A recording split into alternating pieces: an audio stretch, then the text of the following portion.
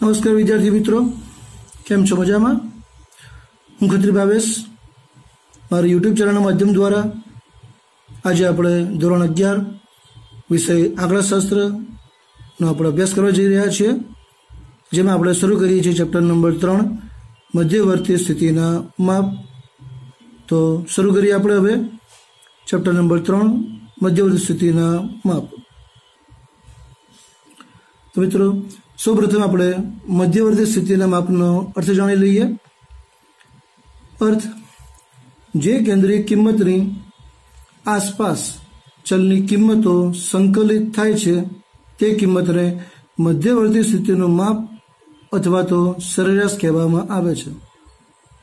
વ્યાખ્યા, સરેરાશ કોને કહેવાય? અથવા મધ્યવર્તી સ્થિતિનું માપ કોને કહેવાય? એટલે મધ્યવર્તી એટલે મધ્યમાં સ્થિર રહેલું, એટલે કે કેન્દ્ર, એટલે કે જે કેન્દ્રીય કિંમતની આસપાસ ચલની કિંમતો સંકલિત થાય છે. તે કિંમતને મધ્યવર્તી સ્થિતિનું માપ અથવા તો સરેરાશ કહેવાય છે. હવે આવા મધ્યવર્તી સ્થિતિના માપો કયા કયા છે? તો આપણે આગળ જોઈએ હવે.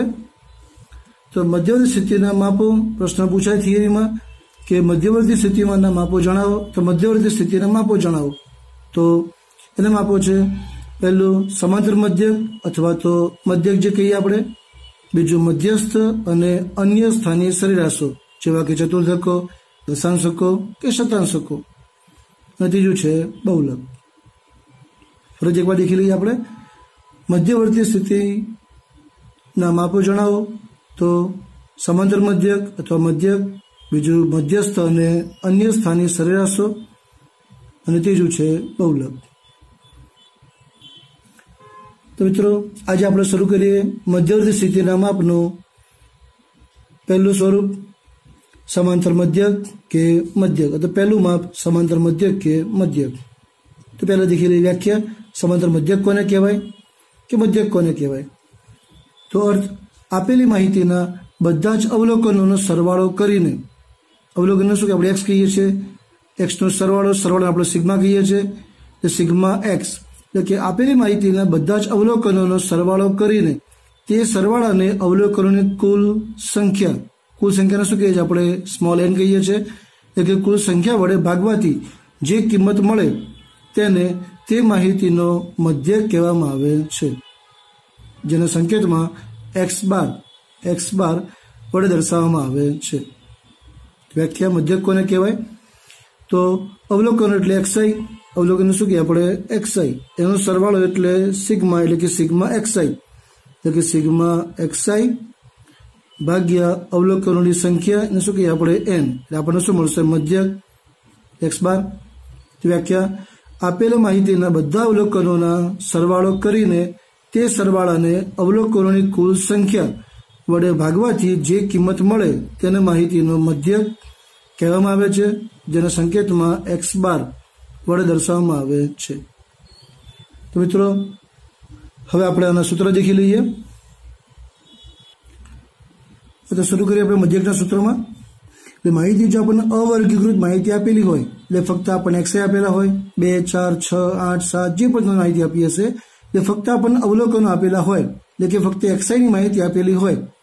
તો મધ્યકનું સૂત્ર સીધી રીતે જવું છે, તો સૂત્ર આપણું X bar is equal to sigma X I upon N ગુજરાતીમાં કહીએ તો અવલોકનોનો સરવાળો, ભાગ્યા અવલોકનોની સંખ્યા.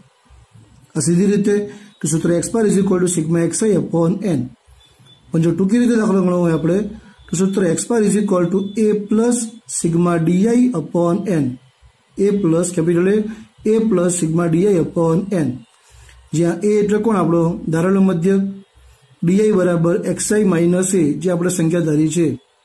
મોટાભાગે આપણે જે ધારીએ છીએ એ અહીંયા એક્સઆઈમાંથી જે સૌથી નાની કિંમત હોય, એને આપણે ધારી લઈશું.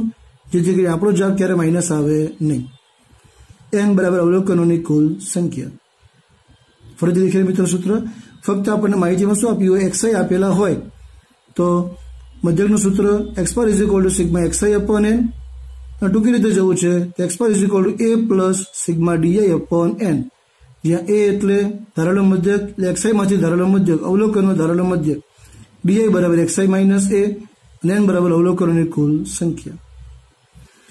બીજી રીતમાં જે આપણે અંદર હવે, કે જ્યારે માહિતી વર્ગીકૃત અને કેવી હશે? અસતત માહિતી હોય. એટલે કે તમને એક્સઆઈ આપેલા છે, જોડે તમને આવૃત્તિ, એટલે કે એફઆઈ ફ્રીક્વન્સી એફઆઈ આપેલા હોય ત્યારે. એટલે આપણને એક્સઆઈ આપેલા છે, જોડે આપણને એફઆઈ આપેલા છે. આ બંને જ્યારે આપણને આપેલું હોય, તો સૂત્ર સીધી રીતે જવું છે, તો X bar is equal to F I X I F I X I એટલે કે એફઆઈ અને એક્સઆઈના ગુણાકાર. એનો સરવાળો એટલે sigma F I X I upon N જ્યાં સિગ્મા એફઆઈ એટલે એફઆઈનો સરવાળો એ શું કહેવાશે? આપણા એન કહેવાશે. એટલે કે જ્યારે પણ તમને દાખલામાં આવૃત્તિ આપેલી હોય, એ આવૃત્તિના સરવાળાને આપણે શું કહીએ છીએ? સ્મોલ એન તો સૂત્ર આપણે X bar is equal to sigma F I X I upon N જ્યારે ટૂંકી રીતે જવું છે, તો X bar is equal to A plus sigma F I D I upon N sigma F I D I upon N મિત્રો યાદ રાખજો, અહીંયા આપણને ફક્ત એક્સઆઈ આપેલું છે. એટલે શું મૂકીશું sigma X I upon N A plus sigma D I upon N ટૂંકી રીતમાં. અહીંયા આપણને જોડે એફઆઈ આપેલું છે. તો સૂત્રમાં એક્સઆઈ જોડે એફઆઈ આવશે. તો X bar is equal to sigma F I X I upon N જોડે શું આવશે? અહીંયા એફઆઈ આવશે. તો A plus sigma F I D I upon N તો સૂત્ર ઝડપથી અને સહેલેથી યાદ રહેવા છે. જ્યાં એ બરાબર એક્સઆઈમાંથી ધારેલો મધ્યક ડીઆઈ બરાબર એક્સઆઈ માઇનસ એ જે આપણે અગાઉ કીધું છે મુજબ જ. અને એફઆઈનો સરવાળો એટલે કે સિગ્મા એફઆઈ કુલ આવૃત, કુલ આવૃત્તિ ટોટલ ફ્રીક્વન્સી એને આપણે શું કહીશું? એન તો આજે આપણે આ બે રીતનો અભ્યાસ કરીશું અને તેના દાખલા ગણીશું. ફરી એકવાર સૂત્ર દેખી લઈએ. માહિતી આપણને અવર્ગીકૃત આપેલી હોય, એટલે ફક્ત આપણને એક્સઆઈ આપેલા હોય ત્યારે. એ ફક્ત એક્સઆઈ આપેલા છે, તો સૂત્ર આપણે X bar is equal to sigma X I upon N સીધી રીતે અને ટૂંકી રીતે જવું છે તો X bar is equal to A plus sigma D I upon N જ્યાં એ એટલે ધારાલુ મધ્યક D I is equal to X I minus A અને એન એટલે અવલોકનની કુલ સંખ્યા, જે આપણે ગણી શકીએ, એક, બે, ત્રણ, ચાર, પાંચ, જે તમને અવલોકન આપેલા હોય.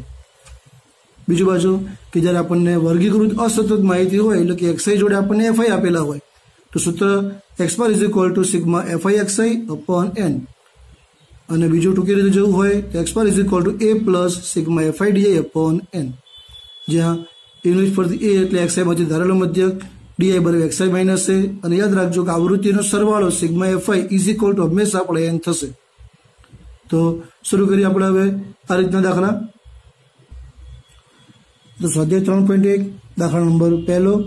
રકમ આ રીતે આપણને આપી છે કે એક નર્સરીમાં વાવેલા છોડની સપ્તાહ દીઠ વૃદ્ધિ સેન્ટીમીટરમાં નીચે પ્રમાણે છે. તો તે પરથી છોડની વૃદ્ધિનો મધ્યક શોધો.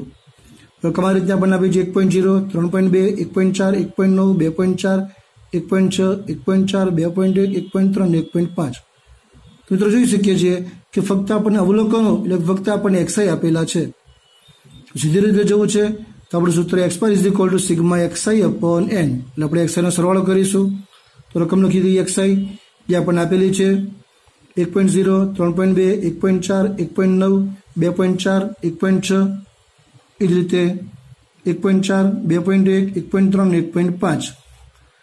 તેનો સરવાળો કરીશું મિત્રો આપણે. લેક્સરનો સરવાળો કરીશું, એટલે સિગ્મા એક્સઆઈ મળશે આપણને સત્તર પોઈન્ટ આઠ. એટલે કેલ્ક્યુલેટરનો સરવાળો કરીશું, એટલે મળશે સત્તર પોઈન્ટ આઠ મળશે આપણને. જેને સિગ્મા એક્સઆઈ કહીશું. તો જો સીધી રીતે જવું છે, તો સૂત્ર આપણું X bar is equal to sigma X I upon N એટલે કે સત્તર પોઈન્ટ આઠ ભાગ્યા દસ, એટલે મળશે આપણને એક પોઈન્ટ ઇઠ્યોતેર એકમ તમને જે આપેલો હોય, આપણે એક્સાઇઝમાં હતો સેન્ટીમીટરમાં હતો, તો જવાબ લખીશું સેન્ટીમીટર લખીશું. એક્સર મળશે આપણને એક પોઈન્ટ ઇઠ્યોતેર સેન્ટીમીટર હવે આ જ દાખલો મારે જે ટૂંકી પદ્ધતિ જવો છે, તો મારું ટૂંકી રીતે સૂત્ર શું? તો ટૂંકી રીતે મધ્યકનું સૂત્ર X is equal to A plus sigma D I upon N A plus sigma D I upon N તો મારે ખાનું પડવું પડશે ડીઆઈનું તો ખાનું પાડીશ ડીઆઈનું ધ્યાન રાખજો, આપણે બંને રીતે દાખલા નથી ગણવાના એક્ઝામમાં તમને કોઈ એક રીતે દાખલો ગણવાનું કીધું હશે અહીંયા હું તો બંને રીતે શીખવાડું છું. એટલે જો ફક્ત એક્સરેથી જવું છે, તો ફક્ત આટલું આવશે દાખલો પતી ગયો આપણો. મજક મળી ગયો છે. પણ જો મારે બીજી ટૂંકી રીતે જવું છે, તો ખાનું પાડીશ ડીઆઈનું તો ડીઆઈ ઇઝ ઇક્વલ સૂત્ર આપણું શું? એક્સઆઈ માઇનસ એ આપણે એ કયા ધારીએ છીએ? તો એ તમે કોઈ પણ ધારી શકો છો. પણ સરળતા ખાતર સૌથી નાની સંખ્યા દેખાય ને આપણે એ ધાર લઈશું. તો સૌથી નાના આપણને એક દેખાય છે. તો આપણે એ ધાર લઈએ. સૂત્ર એક્સઆઈ માઇનસ એક્સઆઈ આપણે અહીંયા છે, એ આપણે અહીંયા છે. એક માઇનસ એક ઝીરો ત્યારબાદ ત્રણ પોઈન્ટ બે માઇનસ એક, બે પોઈન્ટ બે. એક પોઈન્ટ ચાર માઇનસ એક. દરેક આપણે આ કરવાનું એક્સઆઈ માઇનસ એ એ આપણા ફિક્સ છે. એ આપણા કેટલા મૂક્યા છે? એક મૂકેલા છે. એટલે આપણે એક્સઆઈમાંથી એક વાત કરવાનો છે. એટલે પહેલામાં એક માઇનસ એક ઝીરો ત્રણ પોઈન્ટ બે માઇનસ એક, બે પોઈન્ટ બે. એક પોઈન્ટ ચાર માઇનસ એક જીરો પોઈન્ટ ચાર. એક પોઈન્ટ નવ માઇનસ એક ઝીરો પોઈન્ટ નવ. બે પોઈન્ટ ચાર માઇનસ એક. એક પોઈન્ટ ચાર, એક પોઈન્ટ છ માઇનસ એક. જીરો પોઈન્ટ છ એક પોઈન્ટ ચાર માઇનસ એક જીરો પોઈન્ટ ચાર બે પોઈન્ટ એક માઇનસ એક એક પોઈન્ટ એક એક પોઈન્ટ ત્રણ માઇનસ એક જીરો પોઈન્ટ ત્રણ એક પોઈન્ટ પાંચ માઇનસ એક જીરો પોઈન્ટ પાંચ ડીઆઈનો સરવાળો સરવાળો એટલે સિગ્મા। તો ડીઆઈનો સરવાળો, sigma D I is equal to સરવાળો કરી દઈશું આપણે। તો ચાર ને બે, છ નવ, પંદર ને ચાર, ઓગણીસ ને છ, પચીસ ને ચાર, ઓગણત્રીસ ને ત્રીસ, તેત્રીસ ને આડત્રીસ નો અઠાર વધી પડી ત્રણ ત્રણ ને બે, પાંચ, છ, સાત સાત પોઈન્ટ આઠ। સિગ્મા ડીઆઈ મળી ગયા। સૂત્ર મૂકી દઈએ મિત્રો આપણે. સૂત્ર X bar is equal A plus sigma D I upon N X bar A આપણે ધારેલા છે એક પ્લસ સિગ્મા ડીએ આપણે શોધ્યા છે સાત પોઈન્ટ આઠ. એન છે આપણે દસ. એન આપણે કઈ રીતે મળશે તો ગણી લઈશું. દસ એક્સ રીતે આપેલા અવલોકનો એક, બે, ત્રણ, ચાર, પાંચ, છ, સાત, આઠ, નવ અને દસ. જે અવલોકનોની સંખ્યા છે નંબર ઓફ ઓબ્ઝર્વેશન જેને આપણે એન કહીશું. તો સાત પોઈન્ટ આઠ ભાગ્યા દસ, એટલે જીરો પોઈન્ટ ઇઠ્યોતેર એક વત્તા ઝીરો પોઈન્ટ ઇઠ્યોતેર મળશે એક પોઈન્ટ ઇઠ્યોતેર સેન્ટીમીટર બરાબર એટલે આ રીતે મધ્યક એ તમે સીધી રીતે જાઓ કે ટૂંકી રીતે જાઓ, બંને પદ્ધતિ આપણો જવાબ કયો આવશે? સરખો જ આવશે? નોંધ લખીએ આપણે કે ધારેલો મધ્યક બને ત્યાં સુધી કયો લેવાની? સૌથી નાની કિંમત ધારવાની છે. પણ તમને જે ફાવે મધ્યક ધારી શકો છો. તમારો જવાબ સરખો જ આવશે. પણ શક્ય હોય, જો જવાબ આમાં કોઈ જવાબ ડીઆઈમાં તમારે માઇનસ ન લાવવો હોય, તો સૌથી નાની સંખ્યા આપણે ધારીએ છીએ. બરાબર? તો વિદ્યાર્થી મિત્રો, હવે આ રીતે બીજો દાખલો દેખીએ આપણે. બીજો દાખલો, ત્રણ પોઈન્ટ એકનો. રિલે રેસની એક ટીમમાં ચાર સ્પર્ધકોની ઉંમરનો મધ્યક ચોવીસ વર્ષ ગણવામાં આવ્યો હતો. એટલે ચાર સ્પર્ધકો છે, એન બનશે આપણા ચાર. ઉંમરનો મધ્યક ચોવીસ, મધ્યક એટલે એક્સ બાર એક્સ બાર તમને ચોવીસ આપવામાં આવેલો છે. પણ પાછળથી એવું માલુમ પડ્યું છે કે ભાઈ એક સ્પર્ધકની ઉંમર ખરેખર સત્યાવીસ વર્ષ હતી એટલે સાચી કેટલી હતી? સત્યાવીસ. તે પચીસ વર્ષ એમ ખોટી નોંધવામાં આવી હતી. એટલે સાચી હતી સત્યાવીસ. ભૂલથી કઈ નોંધી ખોટી તમે પચીસ નોંધેલી છે. જો ઉંમરનો મધ્યક પચીસ વર્ષથી વધારે હોય, તો સ્પર્ધામાં ભાગ લઈ શકશે નહીં. એવો નિયમ હોય, તો તેઓ ઉંમરનો સુધારો કર્યા પછી, એટલે સુધારો કર્યા પછી પણ સ્પર્ધામાં ભાગ લઈ શકશે. તેનો મતલબ, જો આપણો સુધારેલો મધ્યક પચીસથી ઓછો હોય, તો સ્પર્ધામાં ભાગ લઈ શકશે. પણ જો સુધારેલો મધ્યક પચીસથી વધારે હોય, તો સ્પર્ધામાં ભાગ લઈ શકશે નહીં. તો પહેલાં આપણે મધ્યક આપણને આપેલો છે. તો મધ્યક એક્સ પર સૂત્ર આપણું સિગ્મા એક્સ આઈ અપોન અથવા સિગ્મા એક્સ અપોન એન જે તમે મૂકો તો એક્સ પર આપણને ખબર છે, ચોવીસ હતો મધ્યક, સિગ્મા એક્સ આઈ અવલોકનનો સરવાળો કેટલો તો ખબર છે નહીં. એન આપણા ચાર સ્પર્ધકો હતા તેના આપણા ચાર. ગુણાકારમાં આવશે જો ચોવીસ ગુણ્યા ચાર, છન્નું. તો સિગ્મા એક્સ મળશે આપણને છન્નું. સિગ્મા એક્સ મળશે આપણને છન્નું. ત્યારબાદ જે દસવામાં કરતા હતા આપણી મુજબ.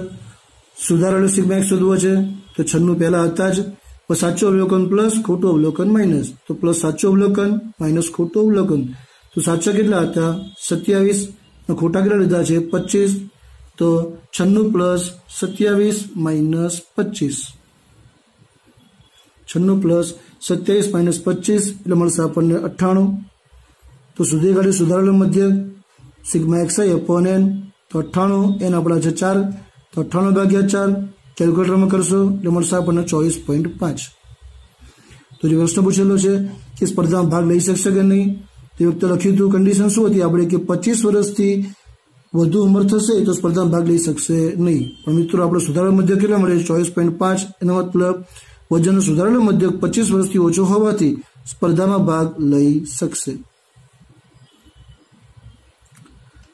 ત્યારબાદ દેખીએ મિત્રો, આપણે દાખલા નંબર ત્રીજો. એક મોટા જથ્થામાંથી પસંદ કરેલા વિવિધ સ્ક્રૂના વ્યાસ આપેલા છે મિલીમીટરમાં. નીચેના કોષ્ટકમાં આપેલા છે તો સ્ક્રૂના વ્યાસનો મધ્યક શોધો. સ્ક્રૂનો વ્યાસ તમને આપેલો છે ત્રીસ, પાંત્રીસ, ચાલીસ, પિસ્તાલીસ, પચાસ અને પંચાવન. સ્ક્રૂની સંખ્યા આપણને આપી છે ચાર, દસ, પંદર, આઠ, પાંચ અને ત્રણ. એ સ્ક્રૂનો વ્યાસ આપણે એક્સઆઈ, સ્ક્રૂની સંખ્યા એટલે એફઆઈ. એટલે દાખલામાં જ્યારે એક્સઆઈ ને એફઆઈ આપેલા હોય, તો સૂત્ર આપણું સીધી રીતે જવું હોય તો sigma F I X I upon N અને ટૂંકી રીતે જવું હોય તો X bar is equal A plus sigma F I D I upon N આપણે બંને રીતે દાખલો ગણીએ છીએ શીખવા માટે, પણ એક્ઝામમાં તમારે કોઈ એક રીતે દાખલો ગણવાનો છે. તો ખાના પાડી દઈએ, રકમ લખી દઈએ આપણે. ઉપર બે લીટી પાડીશું સ્ક્રૂનો વ્યાસ, મિલીમીટરમાં આપેલો છે આપણને.